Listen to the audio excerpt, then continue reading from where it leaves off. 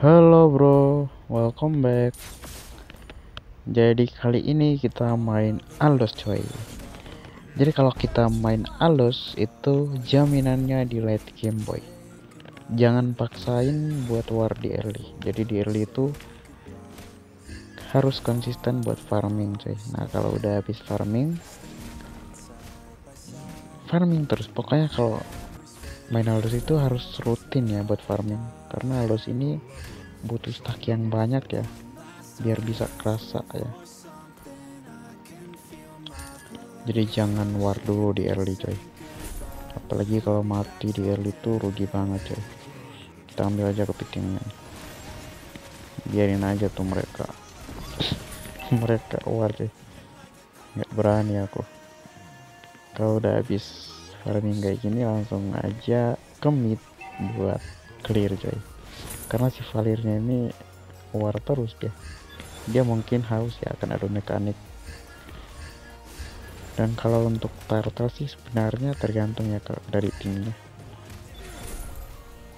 Ini kan solo coy jadi gua rasa ini timnya kurang mendukung ya buat kontes turtle jadi nggak usah maksain buat turtle yang ada nanti malah mati. Ya udah mati nggak dapat turtle kan rugi coy. Apalagi mereka kan ada Lancelot tuh. Lancelot kalau di early itu kan dia bisa set-set gitu kan. Jadi seperti biasa kalau udah habis uh, farming harus commit buat clear minion yang ada di mid coy. Karena itu akan lebih cepat membuat stack dari Aldos ini cepat naik ya kita nggak boleh join war di awal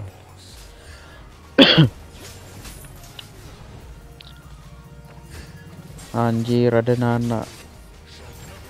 Udah pasrah ya. Kalau udah kayak gini mah pasrah.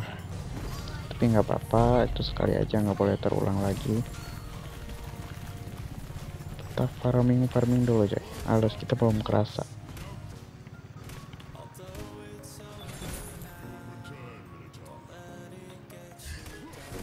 nggak boleh terlibat dalam peradu mekanikan di awal begini. Dan seperti biasa wajib commit buat clear minion coy. Itu untuk 5 menit pertama ya wajib banget ya. Nah ini bisa nih. Kita do retry guys. Dapat kan nih?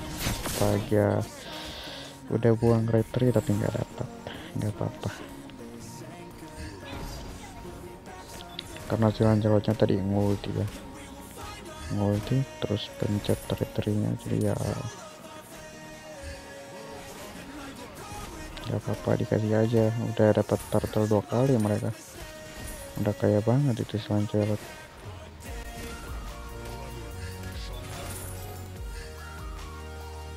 kita ambil kepiting dan seperti ini ya main uh, nih.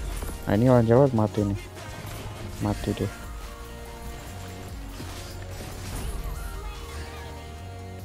Kalau nafsuan itu kayak lancelot coy. Gara-gara pengen ngejar Valir akhirnya mati deh. Nggak apa-apa ya. Turret di mid kita udah potak tapi nggak apa-apa ya. Awal bukanlah akhir jadi Aldos ini jaminannya di late game coy jadi kalau main Aldos itu harus sabar ya. Kalau dibacotin sama teman-teman juga harus sabar coy harus kuat mental. Nah ini kalau ulti dapat ini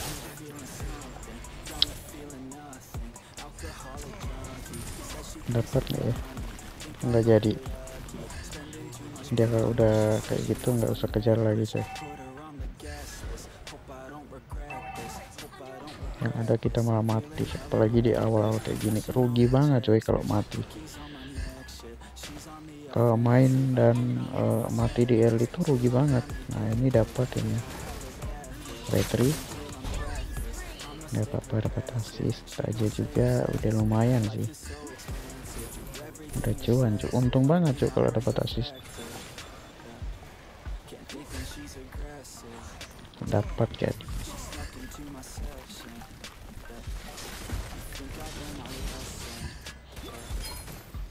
nah dapat itu. Leslie dapat. Belum kerasa. Staknya belum banyak ini. Kita farming farming aja terus nah ini kayaknya dapat dapat turret tengah ini. Nice. Dan ambil buffnya.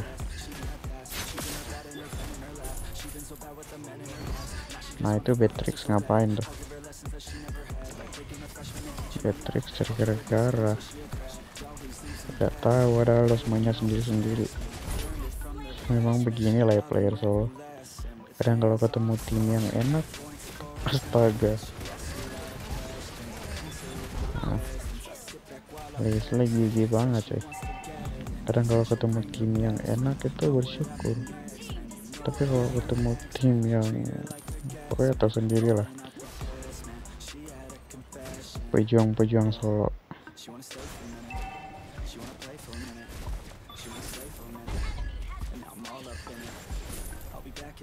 nggak capek-capek lagi. Beatrix lagi. Ini Beatrix buat aku jadi haus akan kill. Tapi enggak lah ya. Kalau main itu jangan haus kill coy utamakan kemenangan. Karena kita nggak cari kill. Kita main ini untuk menang coy kalau untuk nyari kill sih itu gimana dulu ya? Ya usaha usahakan kill coy yang paling penting itu adalah kemenangan.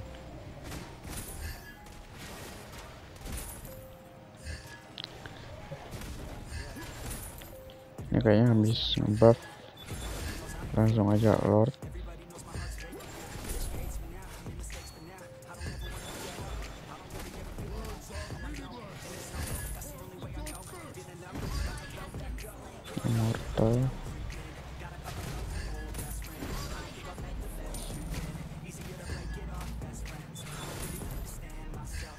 ayo sekaratin ada ulti nih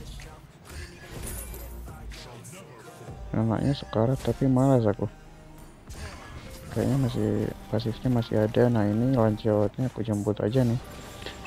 Lancelotnya mati nih. Mau kabur ke mana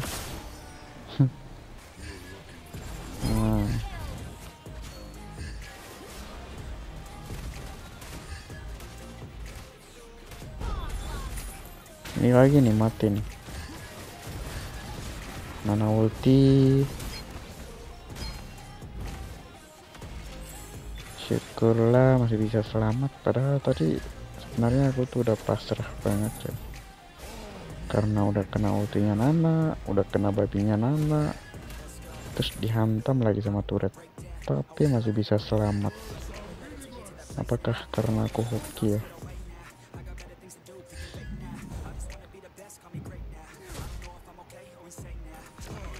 Beatrix, Beatrix. Oh bukan, bukan Beatrix.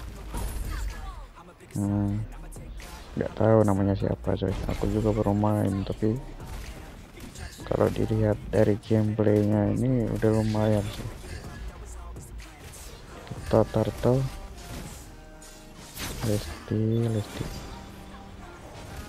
Gak apa-apa itu anjlotnya nggak berani maju karena udah sekarat banget itu sekali tumbuk mati dia nanti. Nice. Dapat lord immortalnya udah jadi. Fix ini bisa langsung di end ini. Jadi kalau main Aldous itu harus konsisten ya. Kalau kalian main Aldous dan malas-malasan itu kalian tidak akan menemukan keindahannya. Dapat gak ya Nana, Nana. Uh, tanggung dapat ini. Nah, nggak apa-apa. Satu tukar satu. Dia mati, gua mati. Aku puas, dianya nggak puas terus. Dianya kayak nggak puas. mana Lancelot ini mati nih nah mati lagi sama Nana.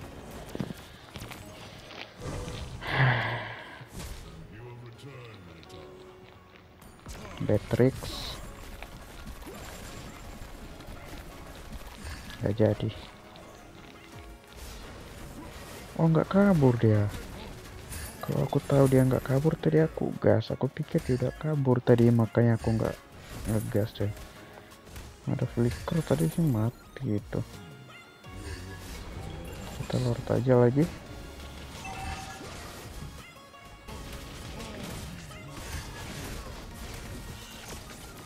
Mana mana? Dapat ini. Dapat. Nice.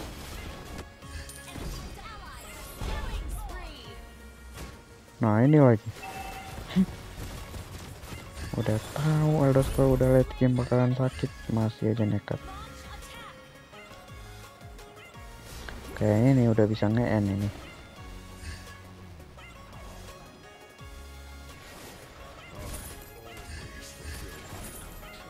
Udah bisa ini nge-end. Jadi kalau main Aldos itu ya seperti dari tadi yang gue bahas tadi panjang lebar dari tadi itu main Aldos itu nggak boleh males ya. Main Aldos itu harus konsisten buat farming. Nah ini kalau dekat mati dia pecahin immortalnya aja nggak apa-apa. Dapat nggak ya? Anjir. Aku pikir masih di sekitar sini cepat sekali ya.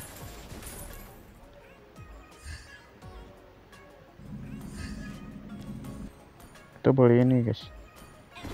Immortal lagi. Untuk mengantisipasi. Siapa yang mau surrender ini udah nggak beres hidupnya.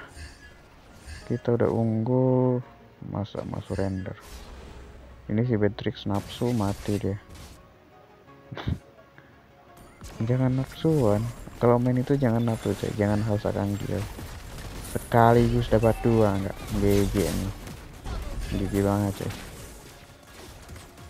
nah ini adalah tujuan dari immortal coy gak sia-sia immortal aku pecah kita beli thunderbird karena boros banget coy mananya. Malas aku mundur mandir. Pulang base terus datang lagi ke sini. Ini kalau nggak udah bisa ini.